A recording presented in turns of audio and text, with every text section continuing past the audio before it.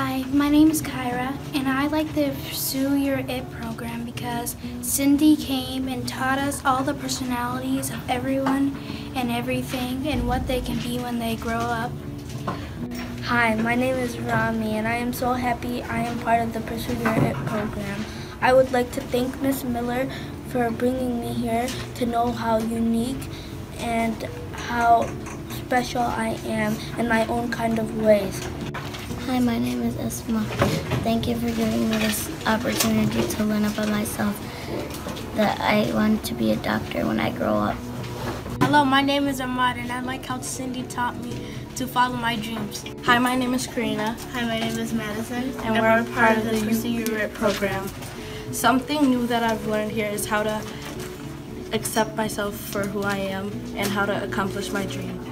I, I learned that I can do whatever I want as, as long as I try hard.